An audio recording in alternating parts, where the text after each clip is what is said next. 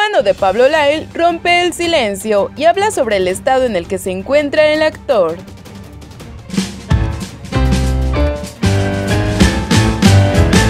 Pablo Lyle está en el ojo del huracán después de que fuera detenido por haber agredido a un señor de 63 años de edad, el cual desgraciadamente perdió la vida días después del percance con el actor.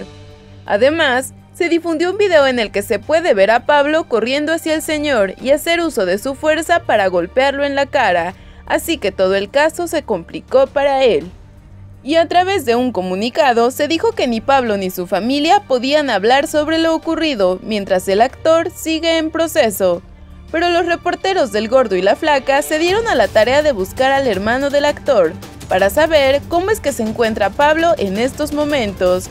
Y lo que dijo fue, Pablo es un gran ser humano, es un tipazo, quien lo conoce lo sabe y sí, o sea, jamás ha sido agresivo ni nada, es una persona que todo el mundo quiere, tenemos ánimo de que todo va a salir muy bien, pero no he hablado con él porque le hemos dado su espacio. No, no, jamás ha sido agresivo ni nada. Es, un, es una persona que todo el mundo quiere, ¿no? También dijo que se encuentra muy preocupado y nervioso, además de estar a la expectativa del rumbo que vaya tomando su caso en la corte. Mientras tanto, los familiares de la víctima exigen justicia y piden que caiga todo el peso de la ley sobre este famoso. ¿Y tú, qué piensas de Pablo Lyle? ¿Cuál crees que vaya a ser el desenlace de esta historia?